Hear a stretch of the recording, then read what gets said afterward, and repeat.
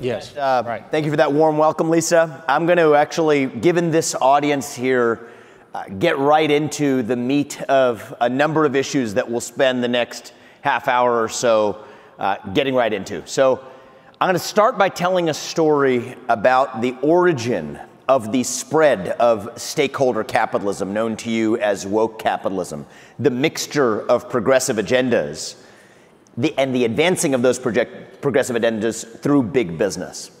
But I'm going to ask you to keep one thought in the back of your minds, which we'll come back to at the end, which is the role of states in addressing this problem. And I'm going to end on an optimistic note, I promise you, that I think that states can actually be the agents of positive change to solve this problem, both by wearing their hat as lawmakers, but also by wearing your hats as market participants. And I'm going to come back to that at the end, but I'll ask you to keep it in mind for the duration of the talk. So, the story I'm going to tell you first begins with the 2008 financial crisis. Many of you remember that. I remember it well.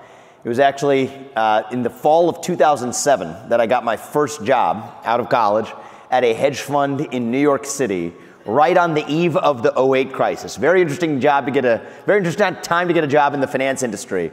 I remember it well. What happened in the wake of the 2008 financial crisis is the public's perception of Wall Street and big business changed dramatically in those two years and in my opinion, for good reason.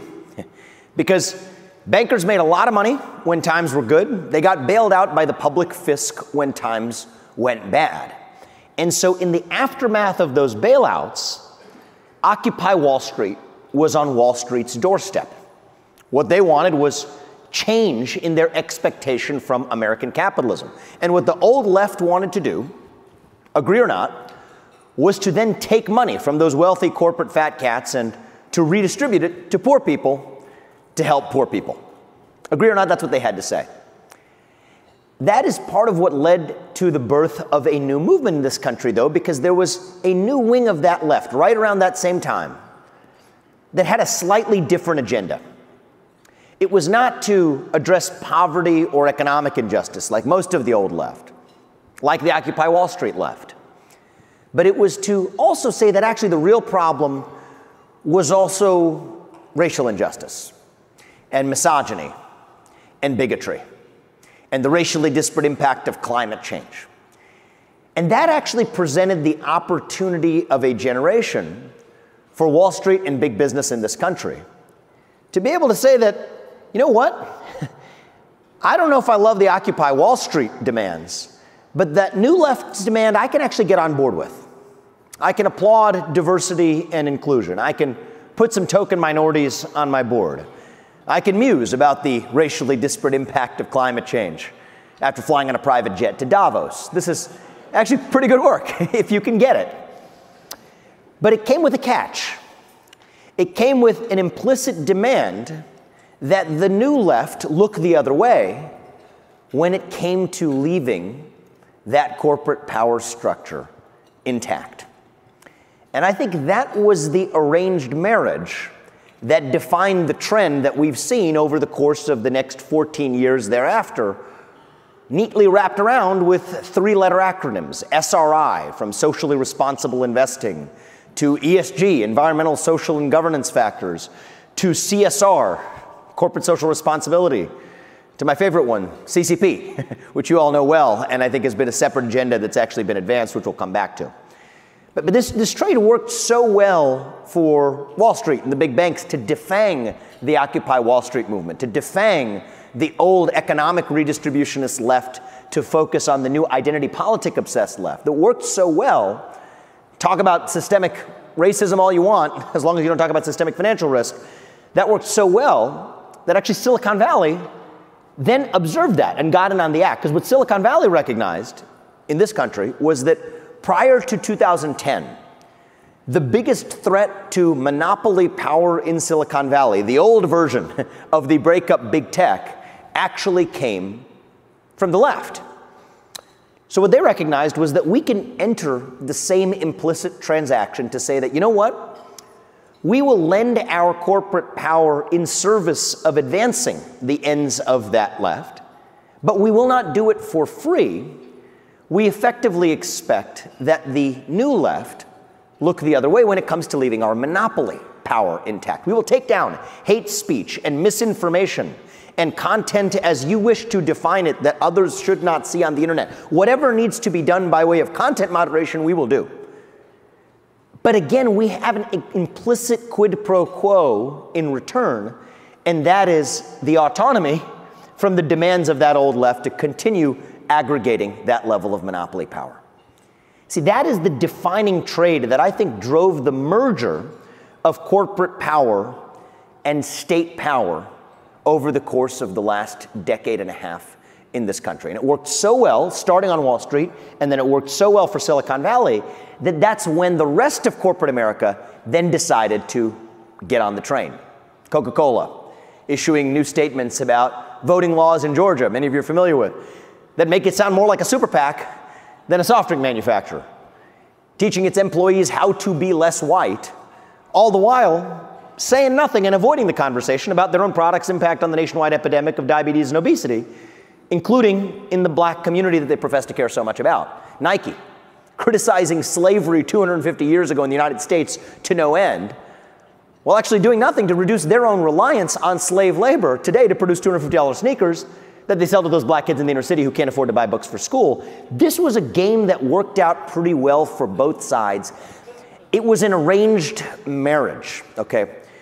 I, use this term intentionally. My parents had an arranged marriage. It actually worked out really well. I'm, I'm, I've grown more partial to the model as in my, in my adult life, if, if, you, learn, think about it a little bit. But this was not the arranged marriage of love, okay? This is an arranged marriage of convenience. It was an arranged marriage in which each side actually didn't love the other side, they secretly had disdain for the other side. But they got into the relationship anyway. It was more like mutual prostitution because each side got something out of the trade. And the net result was the birth of this new woke industrial complex, a new force, a new leviathan in modern American life that was far more powerful than what Thomas Hobbes envisioned 400 years ago, far more powerful than what our founding fathers envisioned 250 years ago when they put into motion a three part system of government with checks and balances, not envisioning a fourth branch of government in the private sector itself that would suck the lifeblood out of the constitutional government that we put into motion. And it is a new monster that actually duped both sides into submission. The old left that used to be skeptical about the aggregation and misuse of corporate power was defanged and deflected by the fact that actually they were distracted by the fact that these new guys are going to advance the causes, the progressive causes that we love so much, that they forgot about their principled opposition to settling political questions through corporate power. And for the conservative wing's part, conservatives were duped into submission by memorizing and reciting slogans that we all memorized back in the 1980s saying that the free market can do no wrong without recognizing that that free market does not exist today.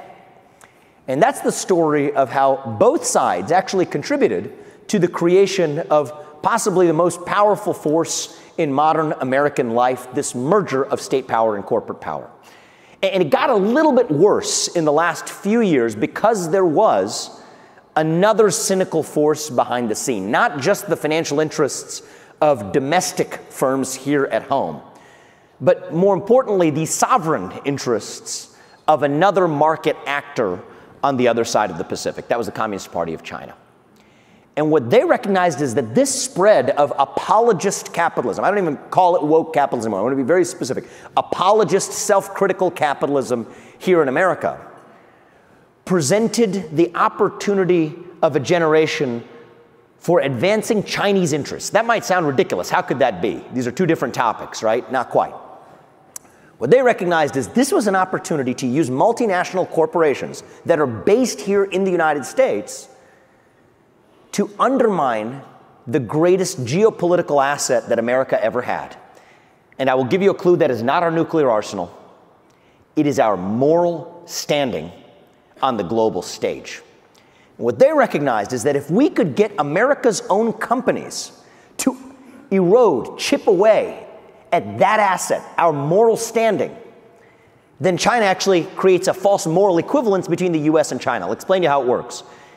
Actually becomes very simple if you just listen to Xi Jinping, by the way. The first thing he says every time he's pressed about the Uyghur human rights crisis in the Xinjiang province, where there are over 1 million Uyghurs enslaved in concentration camps, subject to forced sterilization, communist indoctrination, and worse, the first thing that he says is that Black Lives Matter shows that the United States is no better. Exactly, according to his translator, at least, that's what he says.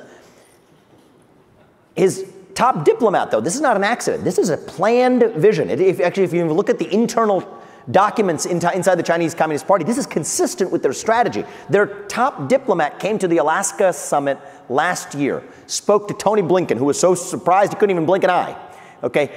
First thing he told him for 15 minutes is that China wants to see the US do better on human rights and that China wants to see the US stop slaughtering, that is his word, slaughtering black Americans. This would be laughable if it weren't for the fact that our own corporations lend implicit moral credibility to those claims by relentlessly criticizing social injustice here at home and taking steps even in our sphere of government to advance that self critical vision in America without saying a peep about the actual human rights atrocities abroad. Microaggression obsession here at home, willful blindness to the actual macroaggressions abroad. I don't even need to go through the list of examples here. You all are familiar with, I'll just give you one to make, to make this really real. Take Disney, right? You know what Disney did this year? The national campaign they've pledged to for transgender education and gender identity amongst first, second, and first, second graders and kindergartners. I frequently said the bill shouldn't have been called Don't Say Gay. It should have been called by the media Wait Till Eight, as in, you know, wait till you're eight years old. We need to get better at rhyming our laws. That might be one of the lessons that we, that we learn as state legislators. But, but put that to one side. That's the campaign that Disney goes on. A couple years ago, they did the same thing in the state of Georgia, by the way. They said they couldn't film in the state of Georgia if Georgia passed the equivalent of a heartbeat bill, an anti abortion statute. That's what Disney does here at home. Last year, they go to literally ground zero of that Uyghur human rights crisis, to Xinjiang in China, and film Mulan without saying a peep until the very end of the movie. You can still see it in the credits today. They mustered up the courage to say, We thank the local authorities for allowing us the privilege of filming here. The very authorities who are responsible for the largest scale subjugation of human beings as slaves on the planet. That's Disney. Nike, Airbnb, BlackRock, you name it, the NBA, this is the trend. And you ask yourself why it is these companies behave this way. It's actually pretty simple. It comes down to money. At the end of the day, China builds a great Chinese wall that prevents American market actors from entering the Chinese market if they criticize the CCP. But they quietly roll out the red carpet if you are also criticizing the United States. And that's the game they have played, recognizing that China was never going to defeat the US militarily, just as Greece was never going to defeat Troy militarily. What Greece recognized is that he couldn't beat Troy from the outside. You use the Trojan horse to undermine it, to burn Troy from within. And that's really the playbook from which China has taken its page, recognizing that they could use global capitalism itself as the Trojan horse to weaken the foundation of America's competitive advantage, where we thought, and by we I mean both Democrats and Republicans back in the 1990s, that we could use trade, that we could use global capitalism, that we could use our investment, our dollars, to get them to be more like us. What a flaw that was. What they realized over the last 30 years much sooner, they've been practicing it over the last 30 years, is that they could use their money, access to their market, to get us to be more like them. Or even better, more accurately, use our money to get us to be more like them. And it has worked, where we thought we could send Big Macs and Happy Meals and somehow that was going to spread democracy to places like China. What they realized is that they could actually send back those Disney movies and Nike sneakers as Trojan horses to undermine the United States from within and create that false moral equivalence between American idealism and Chinese nihilism. So, so that's the scale of the problem. It's not just a trend in cultural trend in markets here at home. It is a cultural trend that goes to the essence of preserving both capitalism and democracy. The stakes for capitalism are the focus of companies themselves. We will see in a matter of minutes, if not already while I'm on the stage, what the GDP numbers were as to whether or not we are in a technical recession. You know, diversity is conformity, inclusion is exclusion. We say war is peace, and a recession is something other than two consecutive quarters of GDP decline, apparently. But that's, that, that's where we are here at, here at home. and, and yet, at the same time, we actually are contributing to that, uh, that very agenda that's eroding our economic foundation by refocusing companies away from what companies are supposed to do provide products and services for profit through a system that we call capitalism, the best known system to mankind to lift people up, including people up from poverty. This new trend not only undermines capitalism's ability to deliver on that promise, but it also undermines democracy's ability to deliver on its promise, where every citizen is given an equal voice and equal say not on what products rise to the top of the market, that's what free market capitalism does, but on what ideas rise to the top of a democracy. How we address, whether we address global climate change, systemic racism, whatever, these are important questions that every citizen has an equal stake and an equal voice and say in determining the answer to. But by delegating that answer to a small group of capitalist elites, we drain the lifeblood out of both capitalism and democracy with deep seated geopolitical implications that actually advantage our greatest geopolitical foe and threat over the course of the next several decades in that process. That's how deep this problem runs. Now, I promised you in the second half uh, of this talk we would get to the solutions. And I think the solutions and the path to solutions are bright, especially if this group of people is able to play a leadership role in delivering it. I think the answer to this problem rests not at the federal government, but with the states. And I think each of you wear two hats, both of which I think can be powerful levers for change.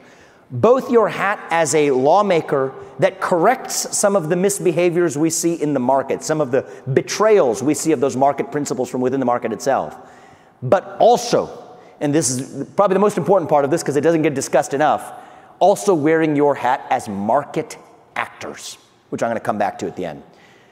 Wearing your lawmaking hat one of the things I say is we actually have an opportunity in a bipartisan sense to restore the basic American vision of both pursuing the American dream and expressing yourself as, at the same time as a free citizen by putting some basic ideas back into motion, like protecting free expression in the private sector.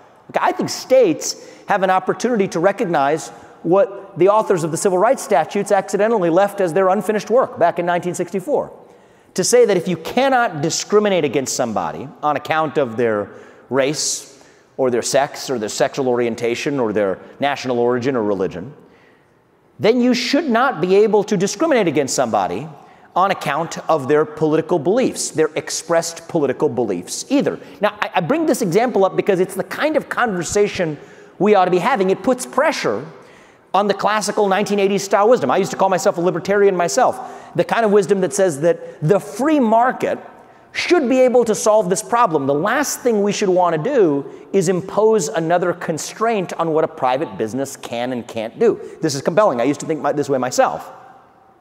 However, the, the overarching lesson I'll leave with you is that the free market cannot fix what it is not free to fix. You cannot apply these standards without an even hand to say that if we're not going to allow businesses to be able to make judgments on who they work with on account of a wide range of other parameters, if we say that you can't fire somebody or deplatform somebody because they're black or gay or Muslim or white or Christian or Hindu or Jewish or whatever, we got to say that you also should not be able to fire somebody or deplatform somebody just because they're an outspoken conservative or an outspoken liberal for that matter. You cannot have it both ways. Maybe we can actually go back to a world where we trust the market to do its work and to say that if these businesses are firing people for political reasons or for racial reasons, that creates a great opportunity for these other businesses to hire them. That's a coherent worldview, in my opinion. But we can't create a situation where, and I've seen this in the private sector, where the civil rights statutes and the protected classes that we created around them actually put into motion the very basis for rampant viewpoint based discrimination we see in the private sector today. I'll be, I'll be more specific.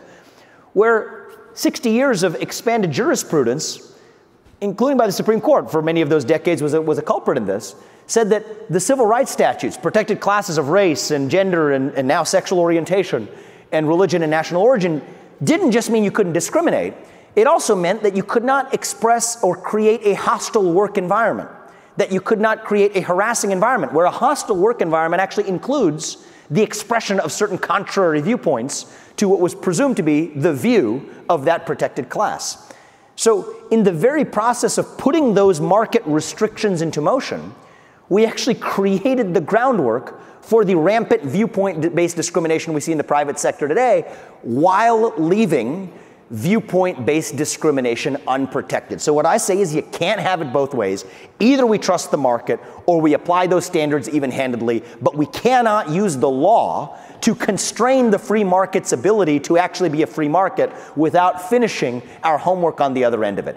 That is a debatable proposition. The idea of making political belief a protected class and a civil right at the state level that is a debatable proposition. I think that is the debate, though, that we need to be having to unshackle ourselves from 1980s style orthodoxies, reminding ourselves, as Abraham Lincoln reminded his compatriots 160 years ago, that the dogmas of a quiet past are inadequate to the stormy present. And what I say is that the dogmas of 1980 for the conservative movement are inadequate to meet the unique challenges of 2022. So these are the kinds of debates that I think we ought to be having as policymakers that wear the first hat of solving the problem created in the market by the law through additions to the law or subtractions from the law, but changes to the law nonetheless that help solve the spread of this new cultural virus in American capitalism. I think there's an even more promising solution, however, and that is to solve this same problem wearing your hat not as market regulators, but as market actors. And this story traces actually back to one of the invisible problems that has actually been hiding in plain sight. Once you see it, you cannot unsee it. It is the problem created in American capitalism today by the one industry that is upstream of all of the others. That is the asset management industry, the industry that directs the flow of capital into every other major industry. Okay.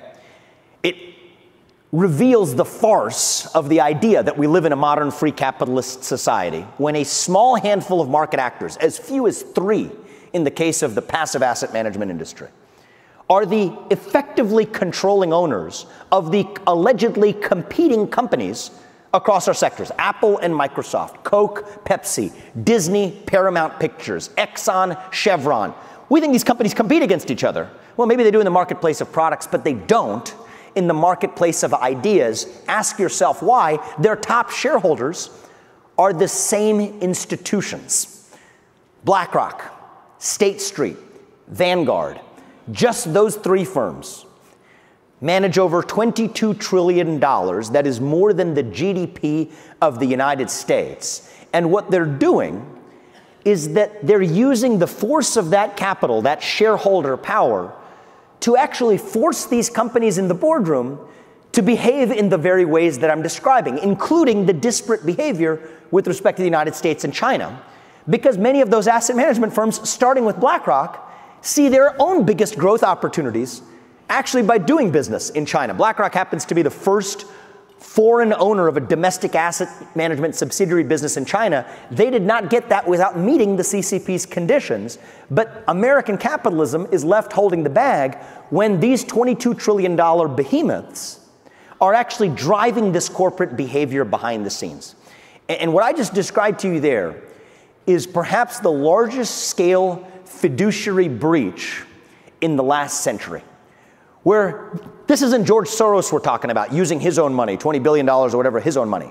We're talking about a small handful of firms using 20 plus trillion dollars of your constituents' money, their money, the citizens' money, our money, to advance agendas in corporate America's boardrooms, politicized social agendas in corporate America's boardrooms that most of the ultimate owners of capital, the everyday citizens of this country, actually disagree with. That is the largest scale fraud, not just financial fraud, but ideological fraud of our century. And no one has seriously stepped up to do something about it yet. That's the opportunity hiding in plain sight. And as I said, once you see it, you can't unsee it. A small group of actors using $20 trillion of citizen money to advance political and social agendas through our system of free market free market capitalism that most of those citizens actually disagree with. And it is happening at such a large scale that it even presents an anti competitive problem. I'm, I'm mostly an antitrust skeptic. I'm just going to put that on the table. But I'll tell you, if antitrust law is to police any problem, this is close to the top of that list. Where imagine if you got the CEOs of Exxon and Chevron and ConocoPhillips and a few more, add a few more to the list, BP, Shell, et cetera, put them in the same room. And together they decided that, you know, we're going to cut gas production. And we're going to see gas prices go up at the pump, but we're going to dress that up and say we're doing it to, to advance the social good. That would be a cut and dry price fixing violation. Handcuffs, this would be the stuff of movies, people going to jail for that type of price fixing violation. Yet the top shareholders of those firms mandate that they do the exact same thing, and somehow we celebrate that as ESG instead. That's a problem. It's a problem hiding in plain sight, but the reason it's hiding is it's been wrapped with the veneer of virtue and morality that's been a tripwire to the systems of accountability. And the worst part of this problem is that it also comes with deep seated conflicts of interest.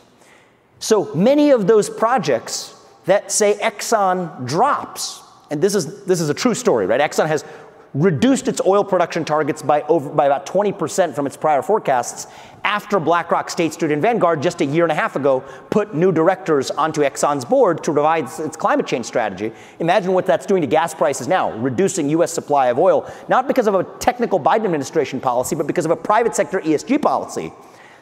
Ask yourself who's at the front of the line to pick up some of those very projects. It's actually firms like PetroChina that would be well positioned to pick up those projects. But then, and this is, a, this is a fun fact not a lot of people know, you look up who's the top shareholder or among the top shareholders that own 6% of PetroChina, it's actually none other than BlackRock. So think about this the large asset management complexes that demand that the US behave and US companies behave in a certain way to stave off global climate change are actually giving the projects effectively from the left hand to the right while the American consumer and the American investor, and most importantly, the American citizen, are left holding the bag. Now, where the story, story takes a surprising turn is that it's easy for us to criticize BlackRock, State Street, and Vanguard as the other. As far as I know, they're not in this room, okay? And if they are, that's fine. I gave a talk yesterday where someone from BlackRock was in the room. We had a great conversation on the back of it. I'm fine. We'll say, say the same thing both ways. But here's the part you don't expect our states are in many cases behaving in the same way. Two red states, uh, is one of them, and this is surprising, actually voted for those same directors onto Exxon's board. Voted against the recommendation of Apple's management. Keep in mind, this is a progressive company made nine figure donations to BLM and related movements. Apple's management team recommended against a shareholder proposal that called for a regularized racial equity audit at Apple. And states, including red states, ended up being the ones who voted for that proposal at actually the equivalents at places like you know Goldman Sachs, JP Morgan, you name it in terms of many other companies. So, you know, Facebook had a shareholder proposal for the renomination of two of its longstanding directors, Peter Thiel and Marc Andreessen, that one red state voted against, but also voted for in that same election to appoint a civil rights representative to its board. So this isn't BlackRock, State Street, and Vanguard I'm talking about anymore. This is US states, and not just US states, but red states in this country. That's a problem, but the good news is that's an easy problem to solve. And I think that this is where the future rests. The next wave, the next five years of solving this problem rests in your hands by recognizing that historically the market actors, the asset managers that the financial institutions of this country have catered to are market actors like CalPERS, CalSTRS, the state of New York, where what they did about 10 years ago was to start to tell these financial institutions and asset managers that we only want to do business with a firm that advances the vision and way of the future. And you know what? We're the biggest ones, so you have to pay attention to us. And quietly, what happened is everyone else got taken for a ride along the way. I think if the if the rest of the states, in between, geographically and otherwise, those states, recognize that the collective market power of the citizens represented by those other states is being disrespected, those states can actually band together and take back that market power to say that our pension funds, our state treasuries, the state aggregated capital of citizens in those countries will not be used to advance these agendas. And I think that is the lowest hanging fruit for how we're able to drive this change, not by making laws regulating how companies behave or not. All laws have unintended consequences when regulating the market. But by taking back the market power that already belongs to the states and citizens themselves. And to me, this is not just a choice. This is, a, this is mandatory because it's not even your money or the money of the people who sit in this room. It's the money of your citizens, your constituents, that's being used to advance this agenda, defrauding them of not just their money, but their voice and their very identity as well. And I think there is an opportunity to, for state legislatures to look within, to not just point our finger at the other, but to look at deeply at what we see in the mirror and find the parts that we don't like and have the courage to fix that within. There is a managerial cancer pervading the government, and those of you in this room are part of the politically accountable class, and with that designation comes both great power and great responsibility to make sure that the class within your state that is not politically accountable, that is appointed on a pension fund board, that even less accountable works at an investment staff overseen by that board, understands that they too are accountable to the very people who you serve rather than to their own objectives and their own vision of crony capitalism that was born through the relationship with the financial sector over the course of the last decade. So I hope we get into some of that discussion in our panel. This is the promising way of states actually driving change to the problem of woke capitalism. It will not be a US president, it will not be the US Congress, it will not be a US Senate that solves this problem. I think it will be state legislatures and state executive leaders across the country, and I hope that that begins starting now. So thank you, and I look forward to the panel. Thank you.